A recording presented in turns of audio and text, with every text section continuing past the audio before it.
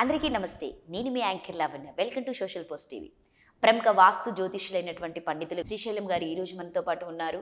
రెండు వేల ఇరవై నాలుగు క్రోధినామ సంవత్సరంలో ఉగాది సందర్భంగా రాశి ఫలాలు ఎలా ఉన్నాయని చెప్పేసి ఒకసారి గురువు గారి మాటల్లో అడిగి తెలుసుకుందాం. నమస్తే గురువు గారు నమస్కారం అండి.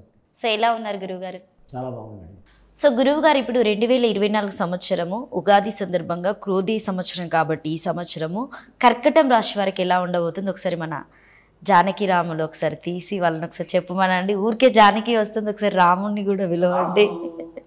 చూద్దాం మేడం మరి వాళ్ళ వాళ్ళ ఇష్టం అది. వాళ్ళ వాళ్ళ వాళ్ళ ఇష్టం ఉంటుంది మన ఇష్టం ఉండదు అవునా? రావచ్చు రామ రావచ్చు జానకి రావచ్చు అది వారి ఇష్టం అది. అడుగుతా ఇద్దరిని కూడా. రెండు వేల ఇరవై నాలుగవ సంవత్సరం ఉగాది గడియ అలాగే శ్రీ కోదినామ సంవత్సరం నూతన సంవత్సరం. ద్వాదశ రాశిలో నాలుగవ రాశి. కర్కటాక రాశి వారి జ్యోతిష బలం ఎలా ఉందో చూడు జానకిరామ్ ఇద్దరు ఎవరో ఎవరు వస్తారో మీ ఇష్టం అది. చూడు. జానకి డౌట్ పడో కర్కట రాశి వారి జ్యోతిష బలం ఎలా ఉంది చూడు. ఇలా శుక్రవారం లక్ష్మీదేవత యోగ బలం కాబట్టి జానకినే వస్తుందండి రేపు శనివారం ముఖ్యంగా మాత్రం చూడాలంటే కర్కాటక రాశి వారి జాతకంలో వచ్చినండి విఘ్నేశ్వరుడు వచ్చినండి మహాగణపతి వచ్చిండు. ఇంకా అన్ని రాశులతో పాటు ఈ రాశి వారికి మాత్రం కర్కట రాశి వారికి ఆదాయం ఖర్చు సరి సమానం ఉందండి. పదకొండు ఆదాయం పదకొండు ఖర్చు.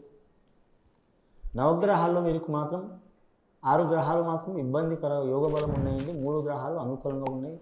ముఖ్యంగా అష్టమ శని బాగలేదండి వారి జాతకంలో. అంటే ఆ ఎనిమిదవ స్థానంలో శని ఉంది.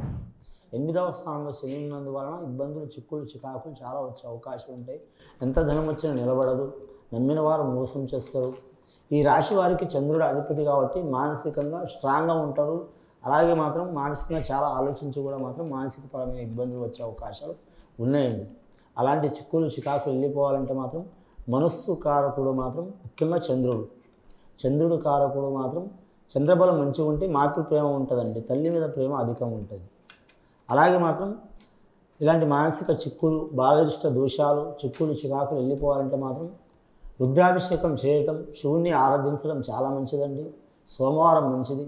ఎందుకంటే ఆ చంద్రుడు శివుడు నెత్తి మీద తీసుకుంది కాబట్టి అంటే యోగ బలం ఉంటుంది వాక్చతురం ఎక్కువ ఉంటుంది. కర్కటక రాశి వారికి ఉన్నంత ఆలోచన శక్తి ఎవరికి ఉండదండి. భూమి నుంచి పడితే ఖగోళ శాస్త్రం ఆకాశం దాటి కూడా ఉంటాయి. ఎన్ని గ్రహాలు ఉన్నాయో మనకు తెలియదు.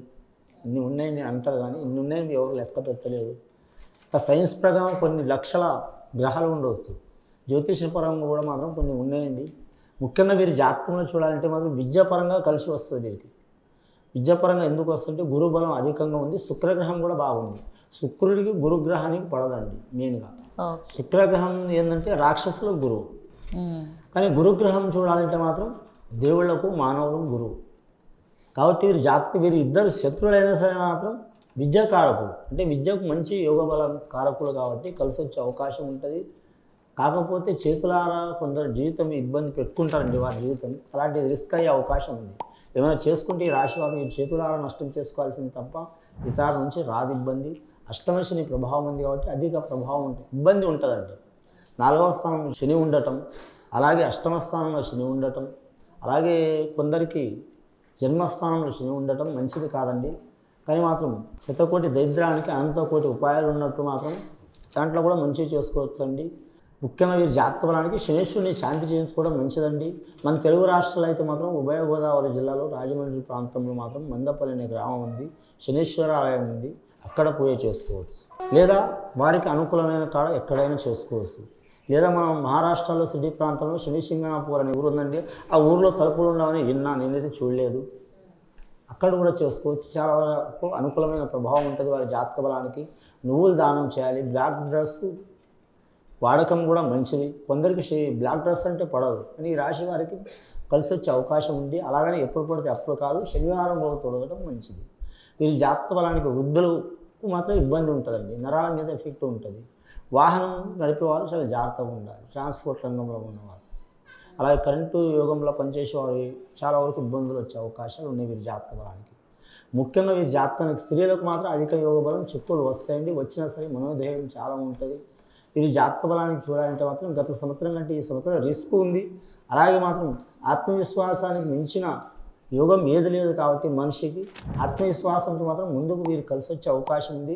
విఘ్నేశ్వరుడు వచ్చిన కాబట్టి వీరందరికీ మాత్రం ఏ పని వారైనా సరే ఉద్యోగస్తులైనా వ్యాపారస్తులైనా రాజకీయ నాయకులైనా సరే ఎవరైనా మహాగణపతి హోమం చేపించడం చాలా వరకు శ్రేయస్కరం అండి.